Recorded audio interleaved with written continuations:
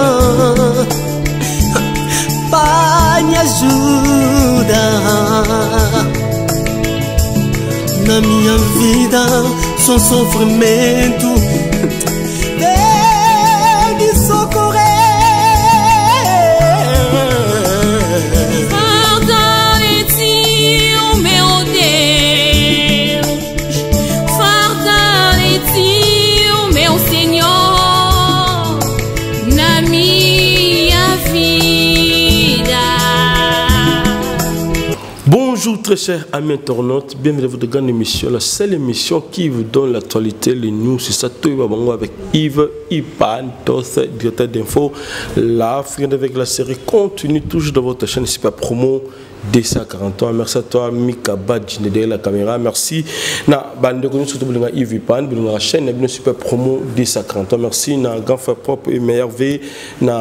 jean robert kalala le savant de la rdc la force qui ati motema ya mama na biso nicole mama na prophète nata paris e nabosani yo mpe te mon ami privé papa na ruben krisetembo le futur e sans oublier krisetembo le futur hein, balobi papa na owen e ruben nabosani yo te j'allais dire euh, poupon dibona kati ya canada mon ami hein, meilleur v tozo fete toujours ensemble parce que tu percé déjà ton côté 2022 merci na maman Billy Vumuka Fondation tout son ba veuve orphelin et na bossanioté euh, mon maman que j'aime bien euh, maman Emeline c'est mon thème tous peuple la maman Likelemba comme ça va venir là et pas ya papa la biso ya mbetolo sœur na biso Marissa Kinanga balembo kitoko disque oyo esali biso kitoko makasi po baloyembo za na kati bozotala yango déjà na ba sport na biso merci voilà topesi mbote epai ya mama top kilo ya mboka hein, toza ne awa donc euh, pour la première fois tozwa ye susu na année oyo donc voilà tozwa ye na année oyo 2022 voilà toperce tokoti Maman, boni yo et meilleur vœu d'abord. Voilà. Bonne année. Bonne année, bonne année. bonne année à tout le monde, ma maman, ma papa, bonne année, bonne année. Voilà. Tokoti par la grâce, hein. toza spécial te bo batikali batikalaki toleki bango na eloko te eza juste grâce mm. tolobaka ya nzambe merci nde tomoni 2022 nzambe merci tomoni 2022 alors celui mama top asala bilan na 2021 négatif ou positif en tout cas banégatif nezalaki ebele okay. mm. année, mm, année 2021 même na mosala mm. euh, meme na finance okay. ezalaki mwa mpasi mingi nalekisi étape mwa calvaire mpenza na Valé à Baka Penza en 2021, mais je sais qu'avec Dieu 2022, euh, bah, on a joué qui était dans par la grâce. Aussi, te perdre bah, ndeko na yo ebele. Ndeko na biso ebele, vieux Chaba, paix à son âme. Hein. Mama Chako, Mama Chako, Kadiombo, Diana Makila, donc. Euh, Ça fait mal. Voilà, ça fait très mal. Alors, Mama Top, 2022, ce qui toloba, oye na ba initiative nini ya moto ya mpona yo moko mpo ozalaki na chaîne déjà bato bandaki kotya déjà idée na chaîne na yo oyaki na bafilme moko ya kitoko bato banda otya mpe idée na bafilme wana mais inaperçu jusqu'à présent toyebi te euh, en fait nini ekomaki molobi oleki na bale ya baka ben sikoyo 2022 mama top azopanse lisusu na nini très bientôt là aussi mama top akokisa 30 ans de carrière mm. ozopanse na nini mm. surtout mpisi na bafani na yo oyo batalaka yo balingaka yo mingi mm. eza na grâce ive ah. eza ngolu na juin na bafin nakokokisa 30 ans de carrière nayebi bato mosusu batiaka badoute mais eya problème te ebele bandimaka te bandimaka te 30 ans azweli yango Rappelez biso non zongisa biso mwa nsima mwa retro hmm. mpo kokisa 30 ans nabandi nano groupe sans souci hmm. nabandi yango na lan na lan nabandi yango na 1992 ozo comprendre hmm. nde nabandi na groupe sans souci na 92 nde nabandaki na groupe euh, sans souci ti lelo so bobeti calcule bato ya mayele bobeta bacalcule voilà donc euh, mosala na nga nalingaka yango mingi oh. nalingaka mosala oyo mingi na nanyokwami mingi nacolama mingi nasekama mingi meme na famille na nga biologique napesi mbote na famille wato famille na nga biologique mais lokola eza eloko nalingaki nazalaki toujours ko persévérer toujours persévérance et nzambe asali nga grâce euh, lelo naza oyo nazali voilà donc na l'an 2022 nayebisaki nzambe nde nakoti mbula oyo mhm. ezala année moko ya différence par rapport ya année oyo elekaki tindelanga bato ya malamu na nzela na nga na parcours na nga bafani oyo bakozala bénédiction mpo na ngai bato oyo bakozala bénédiction mpo na ngai production mpo na bachaîne na ngai makambo na ngai nyonso elamuka e nzambe na ngolu na ye déjà na début ya janvier akomi kopesa mpenza nga bato apesi nga déjà bato na bapapa na bamama vraiment les amis de mama top vraiment napesi bino mbote nazomona bongo sylvie akaki babi mwasi nzambe passeport rouge jeune fille oyo azwa ngolu ya kotambola tous les cinq continents mwana maniema ya yo yango wana tete yondo petite sœur propre mwana lemba balosako mama fina la rose télévision losako mpo na nini te mare bis mondele ya force tranquille canfrun yango wana yuyu belmira mia irma ngai nabengaka ye mia irma donc eh, makambo eza ebele baza ebele donc eh, avec le temps ti tokotaka février mars donc eh, tokomona évolution ndenge tozokende voilà tokomona évolution nde ezokende merci na eli libogar e namoni aussi dada international hein, donc euh, euh, ta première force Ça c'est bien. Merci aussi na Ornella la vraie Kanda Kanda. Biso to benga bango mo bongo plus. Mais donc ba na chaque na chaque Ortine. Ortine. Eh. Ah, yena na yemi poto coopérative. Tu wana ma passe tête wa koti na mambo te pour voilà. Ah, la sagesse. Eh. La sagesse to pesi mbo tu wana mo sali bala. Mm. To pesi ma respect belé. Voilà. Alors maman top euh surtout tali bien ozala na bafane ebele un peu partout dans le monde mm. sikoyo na 30 ans oyo ozokokisa ya carrière mm. bafane na yango baoloba nini bazopense na nini to nano interesse bango lisolo yango te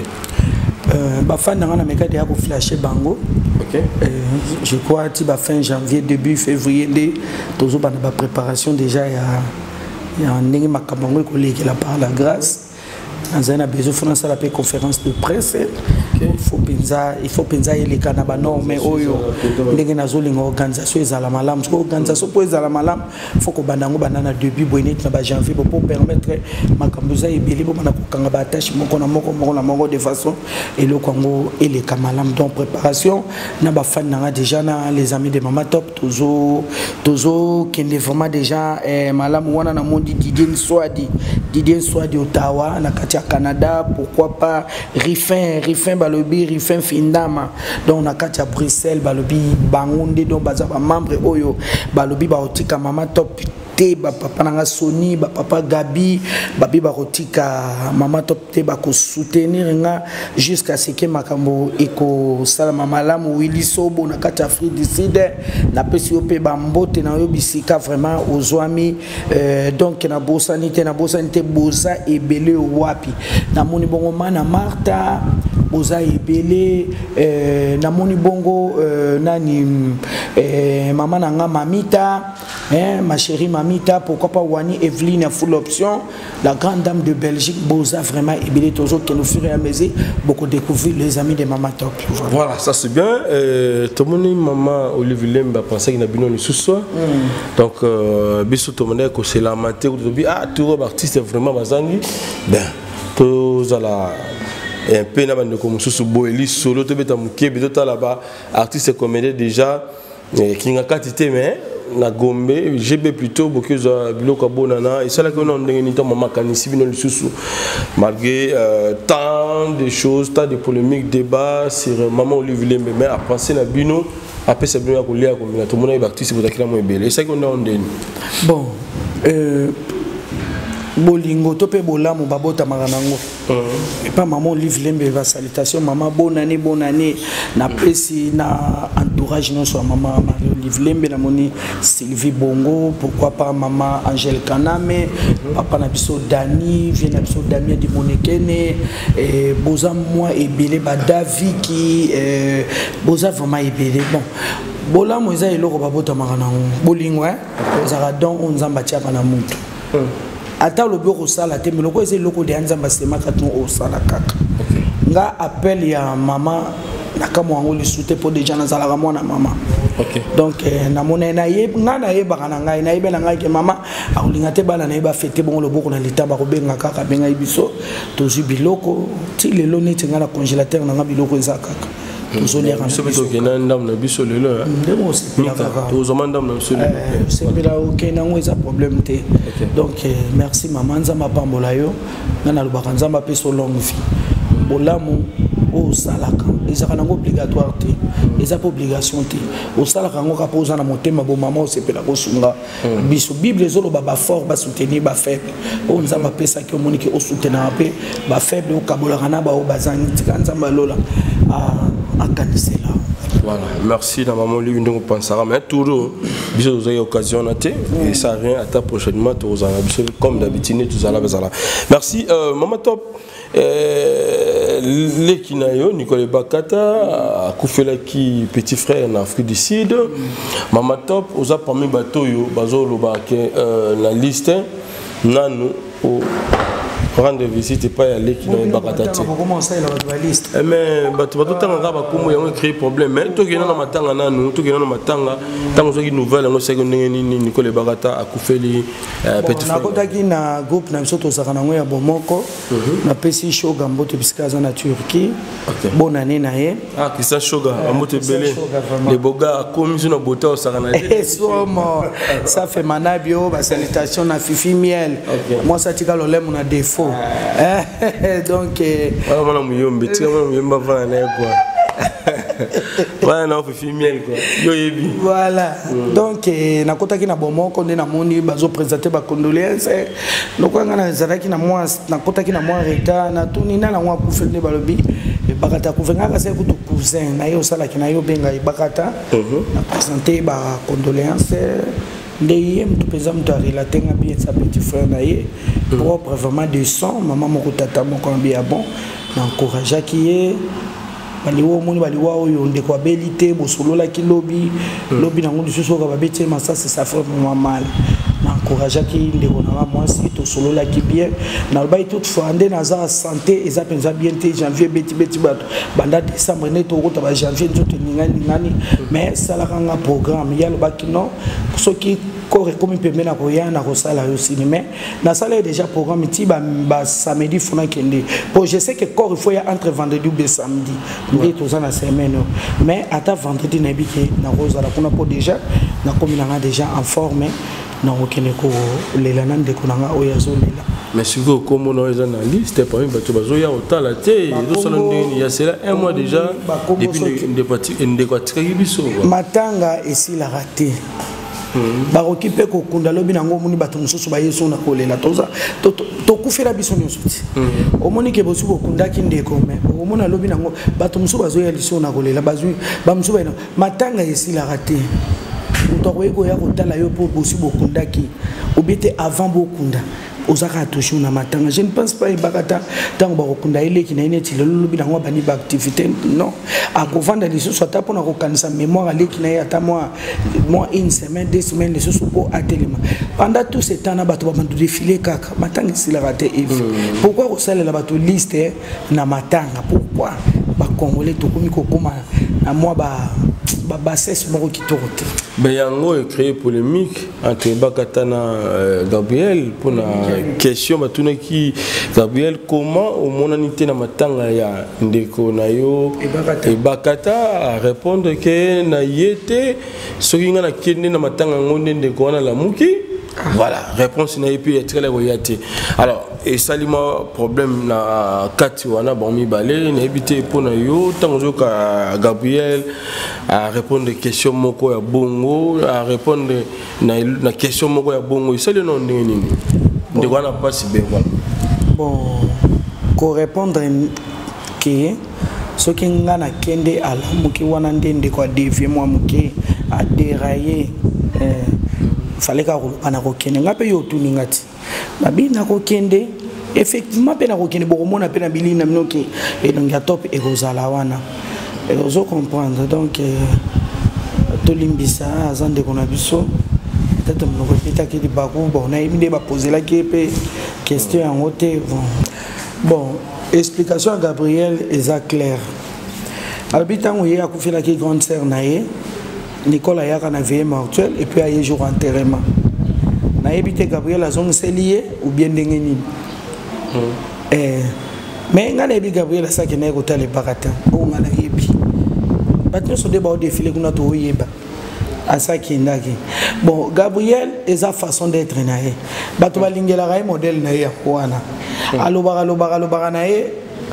bato bamesana ye bongo soki olobi olanda gabriel na libulu ye abimi hmm. ozo comprendre mais nakolobaka na leki na ngai ke adose nano entraînement adose entraînement euh, moninga aza na se moninga aza na ntango ya mpasi moninga azolela leki na ye so bajournaliste yango nde boyaka mpe kopiegeaka biso euh, nzambe apesa biso sagesse toyebaka ndenge nini na korépondre est ce que vagence ti na matanga mpe ekoki kosalema lokola ndeko ayaki ti na matanga na yo vagence ekipaka place te ezwi ezwi ti oh. yo mpo ozokotela ye te nakoteli ye te na répondre ne question na yo ah. vagence ekipaka nango te e, e, ezwi ezwi balobaka tolela na baoyo bazolela bible ezoloba obuka yo ne oboma ye na epe obuka mpe oboma ye na epe yo mpe baobomoka na epe ti eh, c'est biblique donc vengeance eponaka nango te place nyonso esengeli o vengeance osali nango ekipaka nango te eh, eh, soki totali bien tokoloba est ce que eh, ebakata ayaka plus na matanga ya baninga te yango ayaka mais sikoyo bongo bino bokoki kozongisele asaser moko tozozongisele mabe te problème eza ya émission ya gabriel mm. alobaki mais asaleli yango te akendaki eza mosali ngai nini kaka avimbisa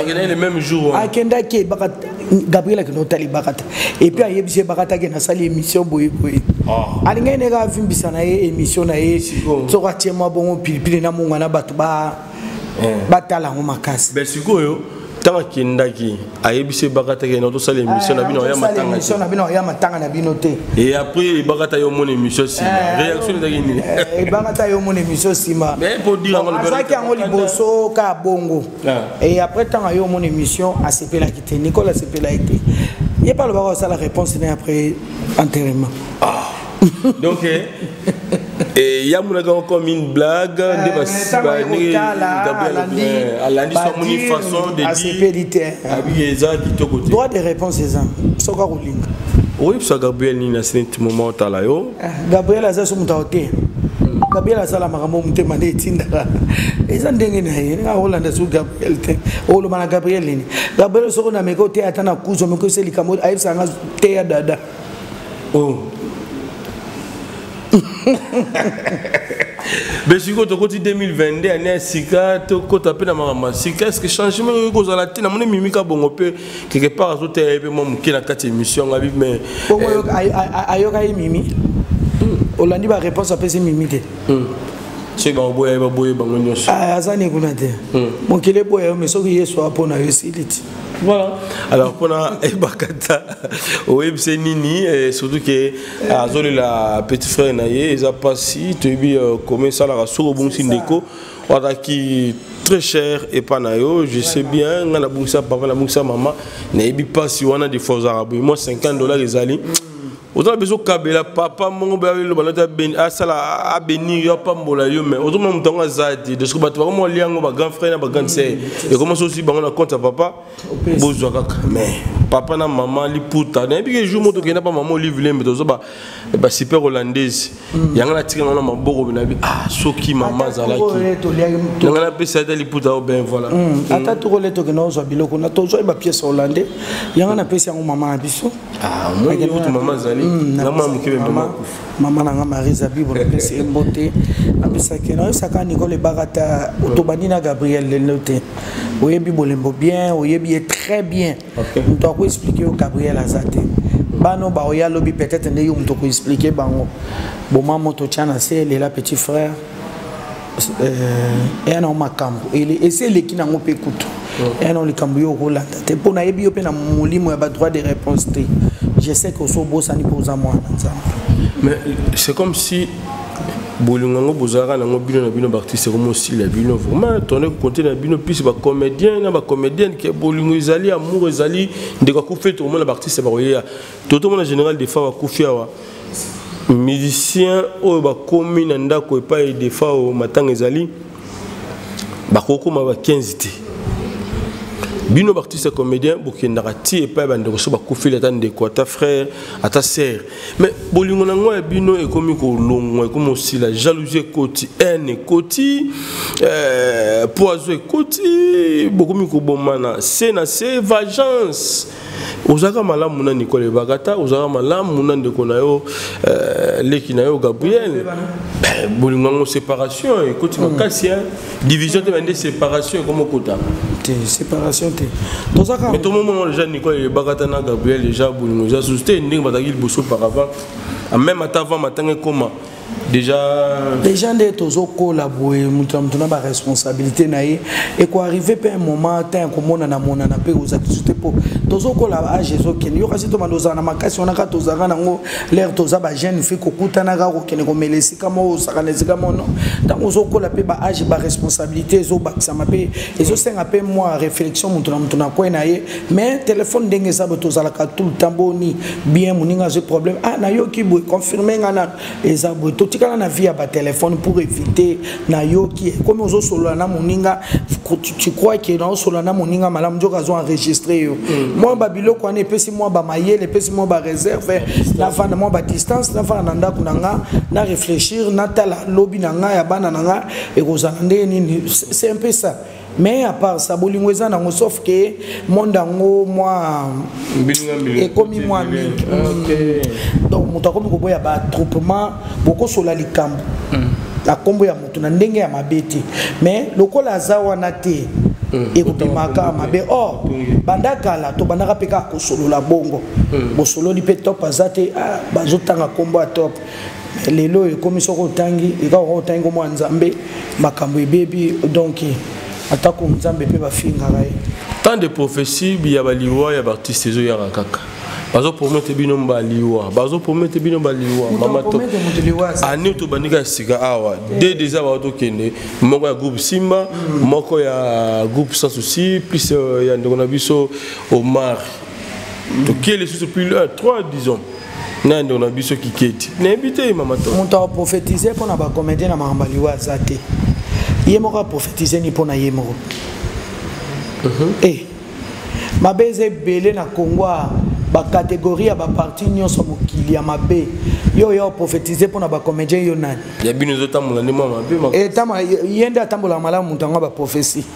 oyo bana prophète denis lesi ah, te nani prophète denis lesi prophétise mpo na biso te aprophétise alobi mika tiela biso video tiela biso video allez-y ah. tiela biso video cher epuis na prophète okay. papa so namoni mpo edekole eza mpasi mm. ntango nayebisi bato ya si mwai na neke kamera obima baduta nabi kutu ndenge osalama nayebi te mais namoni kamera abimi plus de 10 comédien bakokufa bomoni bango nde balanda na ya suka auti okufa okotanga nombre te epuis basili te bakocontinue kaka bamosusu shalom shalom à vous les enfants de dieu napesi bino mbote na nkombo na yesu c'est bien moi votre frère le pasteur israël nash je vous salue au nom de jésus je suis précisément à kinshasa naza responsable ya ophelina jésus est mon papa naye liboso na bino mpo na kopresente bino bana oyo bozomona na bilili mpe badifficulté toza nango nabandaki mosala oyo ça fait longtemps ya kobokola bana selon ainsi dit l'éternel mais badifficulté eza mingi difficulté ya loyer parce que tozofutela et puis difficulté ya kofutela bana minerval mpo tozwi tobandaki topesaki ye avance me etikali ndambo nazobanga ke bana oyo bakata classe bakóma nango na suka te c'est pour cela dieu m'a mis au cœur na lance message oyo na bato nyonso ya motema malamu basunga bana oyo bozomona na bilili bana oyo bozomona na bilili ndambo nazwi na rond point ngaba ndambo victoire ndambo limete epuis ndambo leta apesi ngai mpona bandeko na ngai nyonso bacongolais boyebi barealité nini topase na yango na mboka soki ngai simple individu nandimi kozwa bana oyo nabokola na ainsi dit l'éternel soki leta se décide tomona su bafaser na nzela te c'est difficile ya kosala yango nga moko c'est pour cela nazolanse appel na bana nyonso ya nzambe mpo na klase ya bana oyo mpo na loye na bango kolata mpe kolia na bango naosenga na bato nyonso baza cœur sensible mpe baza na motema kosunga basunga biso mpe basalisa biso toza na commune ya kalamu quartier kauka référence ya monene tokangami na université kimbanguiste aveni nkombo na yango eza marin numero 16 numero ya telefone na biso mpo na bato balingi bacontacte biso mpo na badetail mosusu eza plus 243 89 72 32 229 voilà olandi hmm. mosakoli ndenge alobi nalandi prophète denis lesi napesi ye mbote na moto na nzambe eh, nayebi te lelo oyo makambo ya bonzambe yango soki yango na mitunaka bato oyo nzambe asalelaka puisama na ntango ya kala lelo bazalaka su te bazali bango oyo baprofetize te baexistaka lisusu te bango oyo baprofetize mpo na bino omoni eloko oyo ozomona swat eza mabe mpo na motu okoleka nango jamais na tv mpo oya koloba bondela mpo na bato wana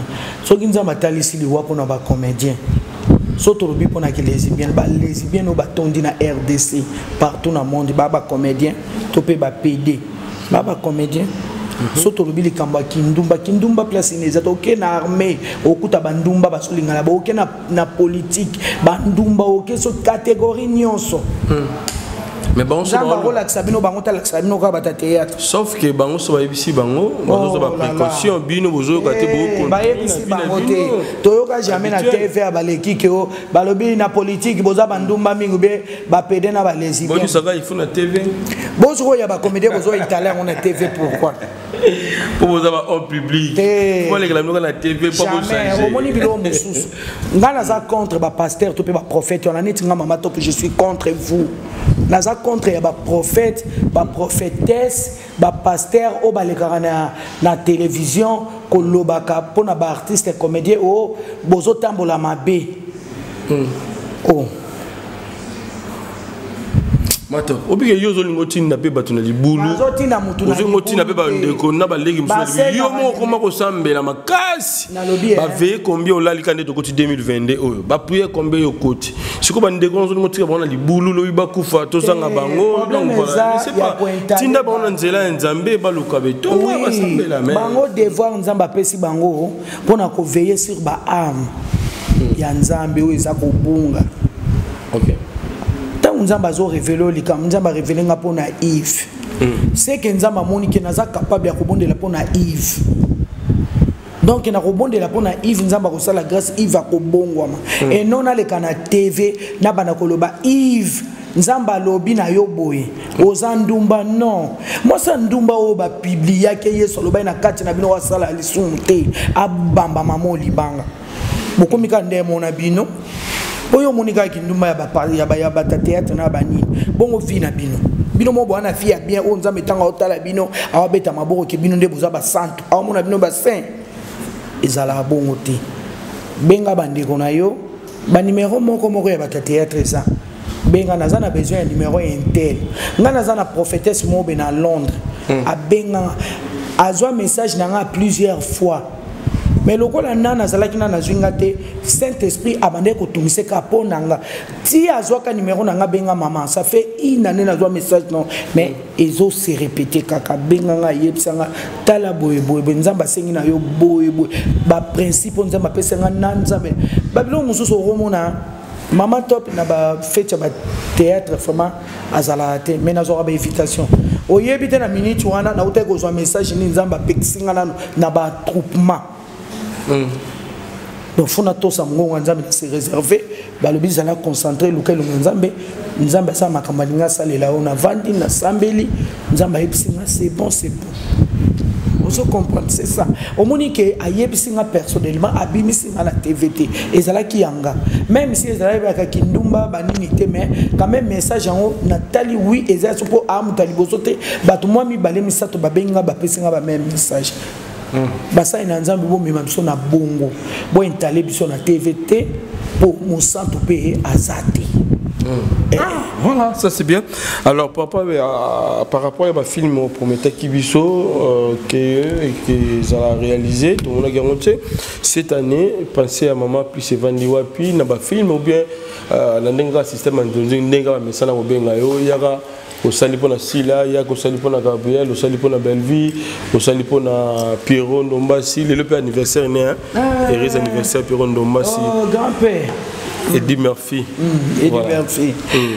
napesaka mbote na mama mirador okay. mm. bana les amis, les amis de mama top mama mirador napesi yo mbote bisika ozwami vraiment donc mm -hmm. Euh, nayebi biso déjà ke nzambe atindeli nga déjà bato moko oyo mhm. baza lipamboli mpo na nga vie na nga vie na nga euh, degas vie na nga degas momo degas momo basalitation na yo mo vie na kati ya belgique degas momo donc euh, voilà nde naza boye mhm. tozo démarrer chaîne na nga ya mama ni mama officielle télévision par la grâce Amen. Euh, tobanda bagag tobanda bafilme par la grâce de dieu mais rien n'empêche bandeko na nga so babenganaki tourne oyo abengana kokende oyo abengana kokende oyo amoni ke scénario na nga ezosimba eh, mama top fois azala neti nde navandaki ya nixon napesi nixon mbote auto abenga nga filme moko azokoma producteur ainsiste mpo na euh, euh, nani nkombo na nga donc tosololaki eh, nayebi se problème eza te rien n'empêche bacollègue oza mposa na nga obenga nga na retourne mais nga moko mpe déjà nakomi déterminé euh, na négligeaki mwa négligence ezali mwa mingi nga mo mpe de mon côté euh, j'étais aussi négligente voilà faut mpe nga mpe nandima bamabe na nga eh, maintenant là je suis vraiment déterminé par la grâce de dieu tokomona kala te bamama ni mama bamatériel ezoya tokolakisa yango mpe kaka na télévision tokoremercier mpe bato nyonso oyo baza na susi ya kosoutenir mama ni mama epuis ntango mpe bamakambo ya bana kosalema baivo ya ngai oyo bakozala mpe kaka mm. batadi ngalapa bayams batadi ngalapa bayams bokozala kaka napesi bofisi ya mwa eh, kamsi ngongo ya sandra ngalula basalitation na yo vraiment mosika oza mosala malamu mpo na nini te carlos ngongo ya mama na biso sylvie donc bawana bana na nga Famille Kandakanda Bomba na pesi bino mbote famille Ngongo ba salutation na bino nyonso pourquoi pas famille Wato. Voilà. Obike ndeko moko komelenge l'autre fois Yves na moni na fête anniversaire ma top te et aussi na moni ba comédien ba yeti. Mama top akomi boye mpo na nini te te te te baimage ezali bandeko baotala na youtube na feta ite méfiance wana ekoti ntina bafete toyebi ya année année coule ezalaka vraiment une fête oyo bagabriel baya baartiste baya bandeko baya biso mpe tozala wana mai ya tour oyo ya 2021 obatami olingi mpe bato baya te tusa voilà mpona fete na ngai te Hmm. nous jusqu'à télévision officielle na pesi ye mbote lokola bango balingaka basurprise hmm. anniversaire ya artiste efo baya basurprise ya gâteau champagne nde namonaki kovo dor abimeli nga briske ale lokola mpe nalingaka te eleka lokola anniversaire ya soso nasombai na ngai de carton na ngai ya kuse carton ya soso eh, bafrite mwa biloko mo tofetaki kaka na kati ya lopango meme famille na ngai bayebaki te naboyai na ngai kobenga bato nyonso tozalaki kaka na kati ya lopango kutu moko na commentaire atie alobi e eh, mama top yango bana ebele ndako moke boye eh. ah. eh, eh, yango mosali changement ndako mama ozwi ya gabari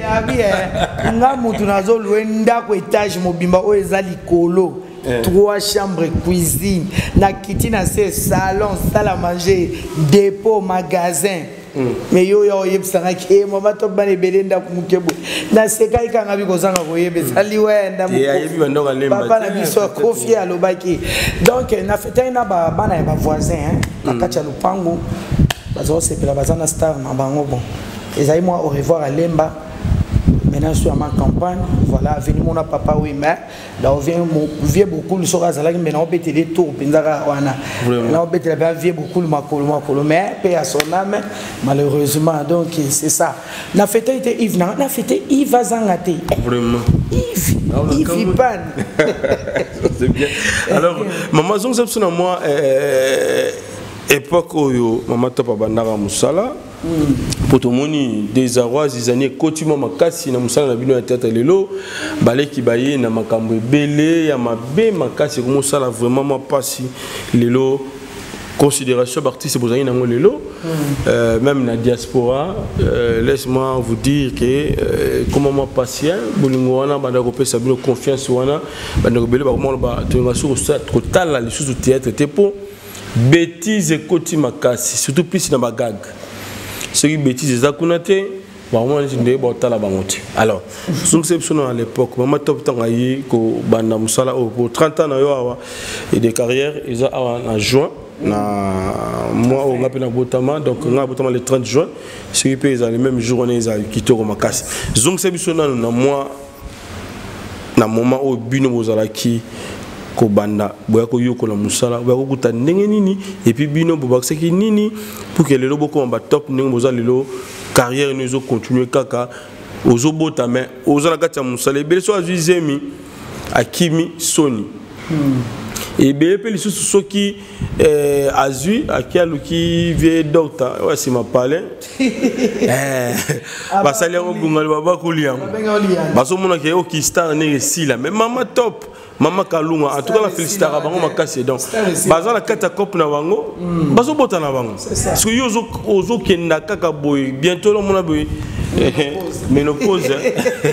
ni mwana komona kaka mwana papa kuluto mwana soki nini voilà toki nanu na réalité ya début na bino na mosala oyo ya théâtre voilà euh, en tout cas début na biso na lelo différence vraiment il y a une grande différence mm -hmm. je me rappelle ntango tozali na bacassette na biso ya minene wana mm. ba vhs ba vhs wana vraiment non mosala ezalaki mpe kitoko ozomona na respect ya mosala na respect ya ya aire respect ya répétition respect ya bato oyo yo okuti hmm. moi je me rappelle ntango nga wana sikoyo je m'adresse na bato bazotia tembe ke nga nazokende 30 ans de carese est ce qu'on explique otango nga na banda nayebi te soki oyo oyebi nsengo ça va passer hmm, ah, sikoyo nga na travaille na bansengo ça va passer ah na travaille na vie na nga ngalofar wana waya na travaille na vie na nga oyo eh, autaki kokufa mundangandanga mpe ya sona okay. eh, wana le nake na groupe sans souci d'afrique apema na kimia nakuti fololo agnès bambote ya nguna donge atravai na basi atula lelo kuna soli na bombo fifi mingi fi bombo bambote nasoli lelo na fifi bombo trop mm. na bena obenga mama yango heure moko madame na ye donc na bafifi bombo mm. basiatula bansengo ça va passer oyebi banda nsango akufa combien d'année mm. point d'interrogation kotiaka tembe te na eloko oyo oyebi te nabandi théâtre trop jeune trop trop jeune voilà, eh, nabandi théâtre na ngai nde nabandi ba, ba, ba 20 quelque wana oboti te eh, naboti te nga nabala na 18 a 20 ans na bandi mwana ya suka nde naboti mais papa ndimaki facilement okota te bandima yango te hmm. bongo nabandaki yango nabandi théâtre na papa wana nde nasiliki na ye mpa na biso ah, kanda wana eh, na ye ozo comprendre eh, wana nao naboti mwana nga suka te wana obi ozwa bato bayebani eh. makasi oh. nde na banda na go sans souci d'afrique sans souci aofutela na lokwila biso toza na locaca témoin ya kobanda mosala na ngai eza ya fioti ngoma hmm. esi ya fioti ngoma apesi yango tebele ya fioti bisikaza na mama na biso eh, na mama na biso eh, nani nkombo na mado hmm. mado mpungu napesi yo mbote bisika oza na mado bambote eh, voilà c'est un peu ça nabandi théâtre na nga ntango epa sans souci bomwana naye kobeta fololo oh. nabeta fololo en pleine répétition bapesanga papier ya révocation fololo ya fololo oyo oyebi ah. bapesanga papier ya révocation je crois na travaille mpe na baya adi muzuri oyebi ye adi muzuri oyebi eh. moto soki ya pembe voilà ozomona bato ngai na travaille na bango mpo onamema yo otika mm. duti akenda mpe adimu azali nalemba eh, aza na bayadi mozuri hmm. basalelanga ndangandanga baya fioti bayadi bazali bachef na mama shako mpe ya son ame hmm. eh, eh, nakuta mpe nani mosaka georgine napesi ye mbote boyebi ye te apesanga papier ya révocation ntango vie s ayaki apesi ba mponda ezalaka me nabukaki mobeko selon mobeko loi wana ezalaki ke okobunda te en pleine mosala voilà hmm. esalaki sans souci ayo olongolanga na groupe malgre nabondela baintervention ya bato mai vie ya sana vie ya sana moto alakisanga théâtre répétition na ngai ya liboso na répéta na komi na lemba teste na nga hmm. nzambe apesa vie ya sana longue vie soki eh, na juin nzambe apesi biso tozaka na bomoi lere nazosala conférence de presse ifo naluka vie ya sana vie na biso ya lemba asala na komi na lemba na oluka vie asala première répétition na nga test na nga sans souci basala nga na komi na lemba na epata na ndenge baenregistre nga à l'époque kokota na groupe sans souci ezali lipa na nguba te mais lelo eza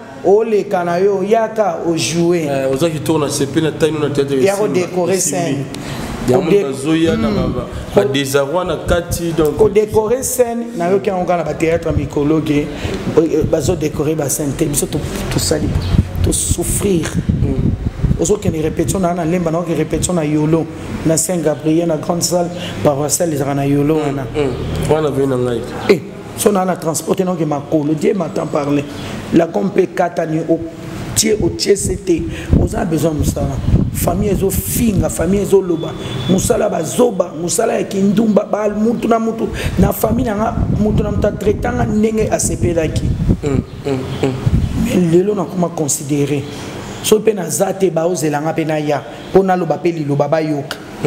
c'est ça donc to souffrir voilà kolongano euh, ntango obetaki euh, ndeko fololo hmm. nde euh, apesaka papier ya révocation balongoli obondeli obondeli sosusi aboyi révocation balongoli nga bon problème ya te na vandi hmm. un dimanche touti prière na bamama hmm. tozongi tofandi tobandi kolia na bamama toyoki euh, na liboso ya lupangu euh, pipipimpi motuka ezo klaxonne tindi mwana akende otala banani yango na liboso ya lupangu mwana afongoli portail atala boye tomoni euh, pole mokindi hmm. apesi ye mbote pole mokindi na bodo pole mokindi wana vie na nga kadiombo mpe ya son ame na bodo hmm. babandi feuilleton moko ya satire hmm. bato bakozala na mémoire ebanda koleka na raga mpo na bato baoza na mémoire ya satire sikoyo babandaka kaka na mbango bordona kadiombo bakimaka ka place baokende eyebanaka te ti ntango bakokima esili baye kosukela na flat moko wana flat hotel je me rappelle na funa na première rue nde sikoyo ifale baluka mwasi nini oyo akoki kojoue responsable ya flat hotel wana mitu etamboli bango bodo alobi non nayebi actrice moko boye alongwa mpa sans souci na nzoto na ye na nini aojoue bien mwasi ya mbongo nde esika bayaka koluka nga dimanche wana na ndako bodo nani pole mokendi mpe amoni nga amoni ke na répondre na bacritère oyo ye aza nango besoin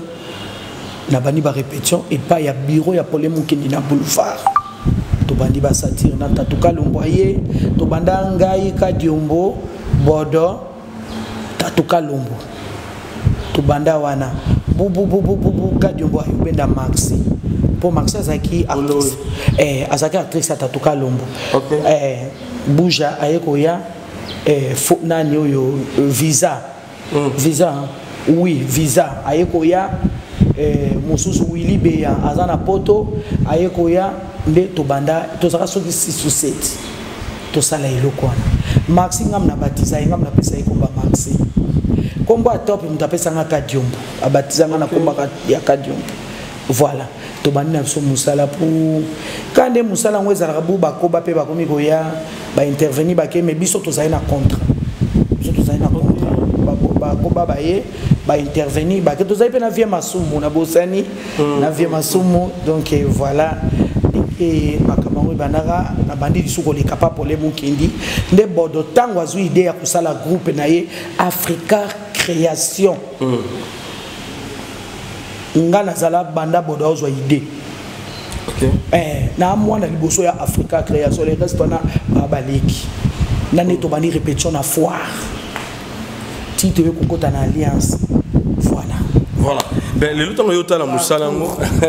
parcours eza molai eza molai alors lelo sikoyo otala mosala yango toloba ebebi totalement ebebi epuis kisi ekomamona pene ekomi kaka bato bazosalela mpo to bamona ye ekomi kaka kisi ebele mosala moke ntango ozomona yango bongo eh, afeti etosala ndenge nini yo moko ozoloba ah, mosala oyo bachange yango eh, to balongola bato mosusu to batamize mpenza internet kaka te eh, internet vitesse internet Hmm. yango eza kaka kala neti na bacd na bacd ezalaki avant tourner il faut répéter donc boana place ya répétition répéta mais na internet eza kaka yaka joua yaka joua bon na monde yango ya bakisikisi yango nayebi te par rapport à quoi bon ezo dépendre moto na moto oza na besoin ata ozwi kisi ata ozwi kisi ojue yo moko mama te ojue yo moko garçon te ojue yo moko papa te donc ozalaka na besoin ya bato hmm. yango omoni biso bamama top oyo tellement kisi na biso ezalaka yesu yaka na yo succès kima no mbango ntango oyoka mpe male ozonga okuti mama topa azalaka awa mais sikoyo mama top asenit moma aza mpe na groupe oyo ya repetaka te ovandaka no mpeka na ndako yango mpo toyaka mpe kaka gabari balokola succès te 3 mois na jouaka te bongo nakokota top mm. donc, donc secret eza nini yesu aza bien yesu aza bien mm. nde secret mm. ah. bana boyoki yesu aza bien nde secret ya mama top mm. alors bosala effort ya koyokola mosala bunda nyokama na mosala nde biso baoyo mpe tonyokami neva eh, neva neva neva neva na internet lelo tomoliama ndambo na biso persevere kaka okay. eza na mokolo nzambe aofuta yo mm. euh, napesa témoignage moko boye okay. euh, naolobela sur euh, sila bisalo mm. euh, natalaka la petite na bi nzambe apambola ye ameritaka eh, baza bana oyo bapersévere vraiment mm. Eh, Sila vraiment a persévérer. Aza parmi ba doyen. Ozo comprendre? Na lobby yango à cœur ouvert. mais sila mpe euh, atangeli yango aza doyen mpo atangeli mpe théâtre eza mpena ya kotangela eh, kotangela yokanga ye kotangela yango te ezo eyemema moto na succès ou bien eyemema moto na élévation non hmm. eza nanu eza nanu persévérance so natangeli yo bakomba bato mosusu oyo batanga mais ti lelo succès eyaka nango te on dirait eya nango don nango te mais bango batangela mais le mosusu mwa biso bao totangela yango te mais eh, togarda déjà poème moko hmm, hmm, eya na persévérance Ça c'est bon. Eh, wana aza leki na nga to partageaka trop. Nazoyeba lisusu le bazalaka na contrat mindondo mpe ya son âme epa euh, académie na bamama shako tozo partage trop mosala mpasi tozomona mpenza mosala oyo okomi mpe mposa otika yango hmm. eh, okomi mpenza na suki omoni ke ah, ezofuta nango te eloko te otika mais so bosangani mwa mibale misato omoni moninga mosusu aye na mwa lisolo mm. ya kofortifie bino afortifie bino oyoki mposa mosala yango ye lisusu ah, to persevere kaka tokende lelo vraiment ntango akóma na ye mpe nzambe amatisa ye place akóma entouka alia mbongo na ye amérite mbongo na ye mpo eh, apersévérant entouka na osenga na bajeune fille tolandaka baexemple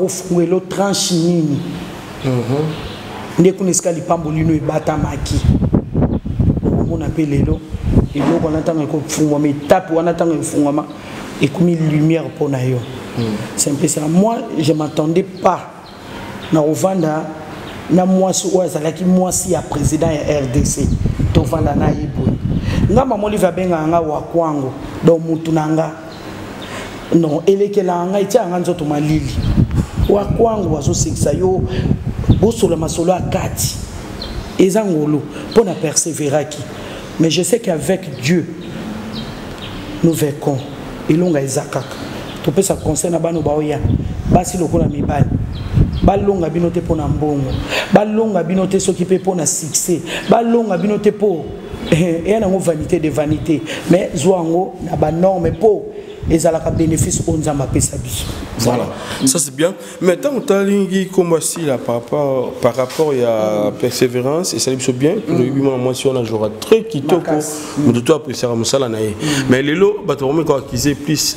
ka likambo olobi ya distance wana ndenge okoma distance na bandeko mm. sila mpe akoma plus bongo mais auparavant avant eh, azala na sb azala na basection aza nango lelo mm. azalaki na attachement plus aussi na bandeko na ye mais lelo akoma mwa distance en fait A atrouva nini ya mabe na kati ya monde na bino estce ezaka mpo succès ezali azoboya mpe bandeko mosusu baya pembeni baya koetufe yango mpo ezalaka ndenge wana bato mosusu atali amoni hmm, moto oyo ndenge azokenda ebele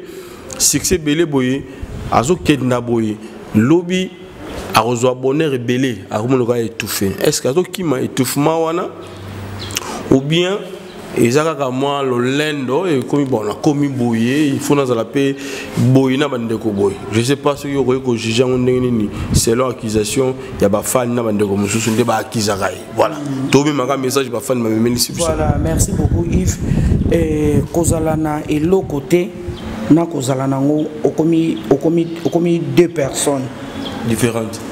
voilà o comprendre ok euh, na moment oyo ndenge nzambe asa eleve ye il faut koma mpe na mwa comportement moko boye tomona comportement babosi ti mm. ozo comprendre mm. elakisi ke akozala mpe na baninga ne atanga na bango bosolola mais bomwa mwa différence ya mwa comportement to mpe caractère moko boye ya normal mm. eya mabe te surtout na monde na biso oyo bolingo vraiment oyo tozalaka na yango kala na mitema mhm. ezalaka lisusu te en tout cas moi je préfère ndenge tokoma moto ya moto na ndako na ye omo nde oyo oluka nga moto ya moto na ndako na ye avandi oza na eloko ya kosala intel na na besoin intervention na opa na nga aye atourne opesi ye mbongo na ye akei bellevie télévision abengaka nga ti napesi bellevie kandi famille libota basalitation mhm. yaya oza na intervention nake na tourne bellevue apesi nga mbongo na nga na enveloppe nazwi nzela nazongi mm. naoke na ndako ya bellevue te mpo naoke luka nini mm, mm. bellevue aa na vie na ye nga mpe naa na vie na nga na coin na nga mosala nde moto esangisa biso mm-hmm. rien ke mosala par mosala na age ya bellevue na nga tokozala jamais bacamarade eza pratiquement impossible mm. ozo comprendre eh, eza ndenge moko moto oyo n'importe qui akobenga ngai ya kojoue nasali rien ke mosala opesi ngai mbongo nazo en tout cas pour moi neti mpo na biso baancien mm. na préféré na attitude c'est mieux mm. okuti ebakata afandaka na kwe na ye gabriel afandaka na ndako na ye bellevue kuna ndako na ye sila na ndako na ye aflasha ye nga akutaki nga yaya nazwi ndako na gb félicitation sila ah, akomi na gb azwi ndako na ye ayebisa ye nga eh, nani sila na ndako na ye avandi na gb kuna peshanga na ndako na ye c'est bien c'est bien omoni neti ursile sila gabriel euh, leya naotanga badoyen hein. badoyen mpenza oyo eh, towutautauta mpenza bapijou la reine banani baza ebele hmm, donc eh, ndenge toza boye moto ya moto akoma na kwene moi ça me fait du bien nazalaka so naotourne na bandal nabeteli le ya tour ake kotala bebe soraya na biso Hmm. Eh, ma grande eh, bosolo eh, problème eya nango te papa papa papa eleki mais azalaka mwana quand même ya batiste hmm? aza mwana batiste omoni nga detail oyo nayebi yango te ah. nga leya tovanda nao tayebisa nga ke yaya nabota na intel donc moyen nga nakota na badetail wana eza te nayebi yango te nayebi bebe na nga soraya vrai chéri hmm. point barre tosuka na oboti na bapa kandakanda wana eyebani kende na mosala pardon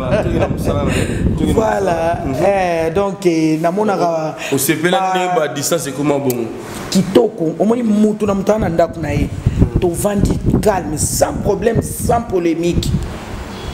mosala soki eza tokutanaka papa papa papa eh, bosali mosala okende milo tokutana ba milo milo 50 esa kitoko okuta na baetoile baye totravaille na babellevie pa major bavia eh, mireille eh, mwana mama, eh, mwana mama antoinette bango mpe bazoévolue na angola eh, c'est un peu ça mm. esala bien miraesa kutina eh, kutina esala bien bambote na yo na angola moindo mm. bambote na eh, sila siara Eh, Ciara, s'il adorait, pardon, mm. eh, Missoune la star, Bambote Nabino.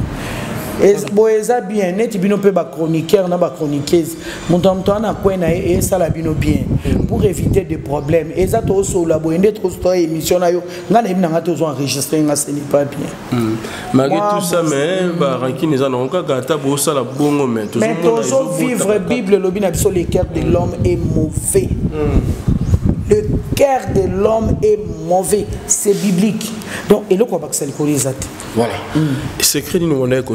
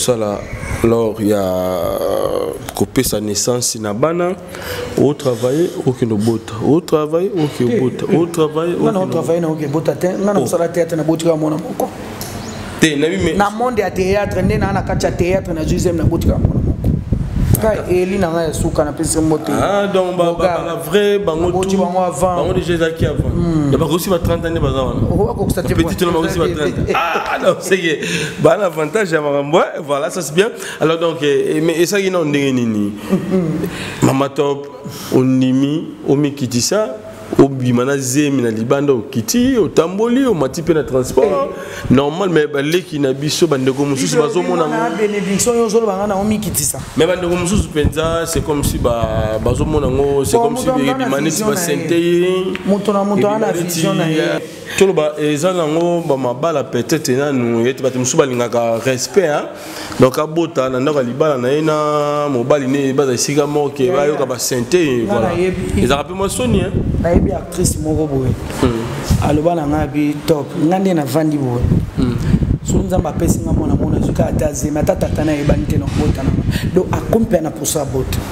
ok hmm. oh mais batata baza na bango tibongo azomona te vraiment nde azotambola wana azokanga nde te Hmm, aokanga te luki yango mpenza don na bomwana ye amonaki yango bie ntango azobakola azobakola sikoyo ekomi na ntango oyo aza nango besoin mpe bango mpe baboyi koya mais aluka prophète dililesa oyo dililesa apesaka bana te moto apesaka bana ya nzambe ti asambeli mpo na ye asengeli peut-être akende basengela ye ata koluka paster moto dililesa asengelaka mona ye ah bon ndenge ya lobaka peut-être po mais te bakende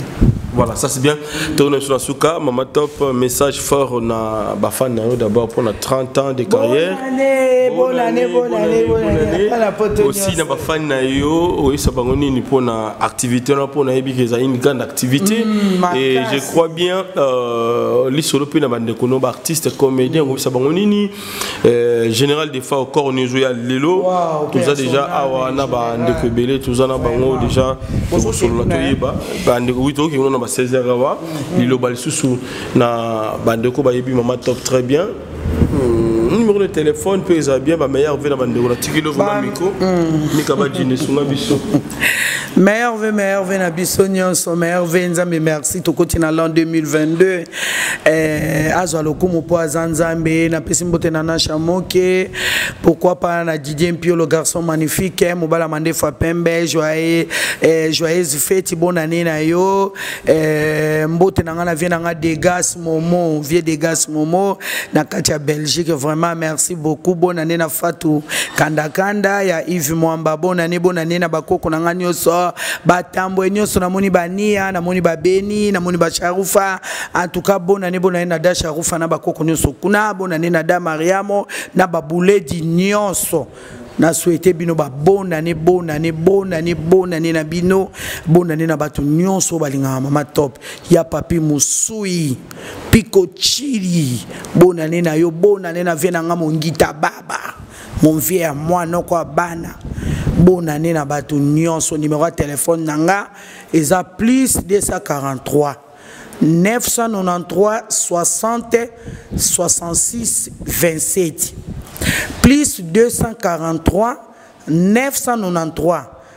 60 66 27 wana soki obengi eza numero ya whatsapp nabosani te musicien oyo asololaka bien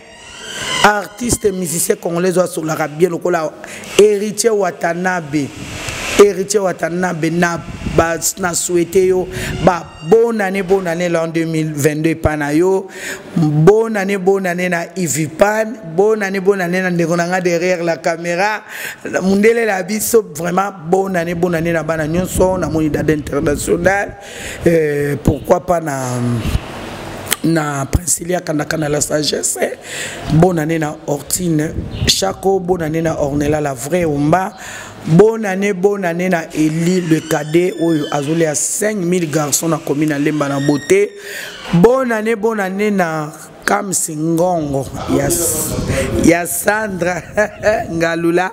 eli akomi déjà mwana ma campagne bonne année na bapetit fils na ngai namoni antony singa salama pourquoi pas theresia kilese salama namoni bongo eh, rosina ngongo pourquoi pas eh, darius ngongo namoni bongo jo eh, jessica ngongo vraiment ba salutation mpe babona ne na bino nyonso bona ne na famille ngongo mobimba bona ne na famille kandakanda mobimba da monike kandakanda babi number one ya bakandakanda nalingi bino mingi vraiment bona ne bona ne na les amis de mama top donc eh, on est ensemble nakolinga nazwa bakombo na bino complet mpo epermettre nga na bwakaka yango complet namoni bongo mon général émilie namoni mama dorcas bonani lisusu na karine manesa ma jumelle à moi karine manesa bonne année bonne année bonne année na joel chijibi mama na julie la beauté numérique bonne année bonne année na bato nyonso balobi sylvie akake mwasi nzambe passeport rouge mwana maniema makila moto moto fi oyo azwa ngolu ya kotambola tous les cinq continents bonne année na yo pourquoi pas na dede loniema bonne année nalingi bino bana na ngai na afrique du sud namoni miriange angesaka eh, dedel angesaka beni angesaka medi pardon angesaka oche angesaka pourquoi pas ye moko ema le cadet oyo akangi masolo champion angesaka wato en tout cas nalingi bino mingi je crois napesi numero ya telefone na nga eh, bamama na ngai ya asauve merci mpo na participation na bino namoni bongo dajane masimango ya papa na biso pierre en tout cas bonne année na bino bamama nyonso ya asauve nalingi bino mingi nde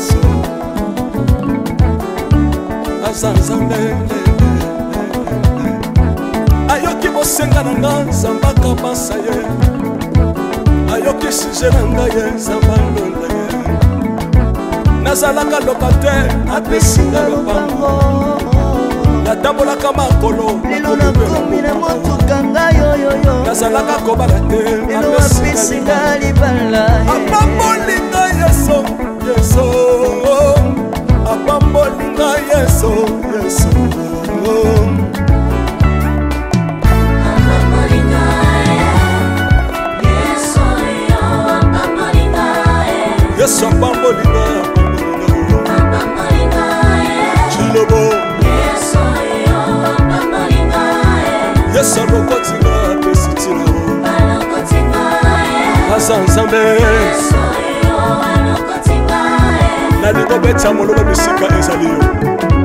beta mololo wapi bafisi du prophète bana royaume de dieu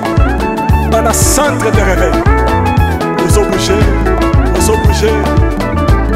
obinaka wapie mpo napambola yo ingénieur ki on est ensemble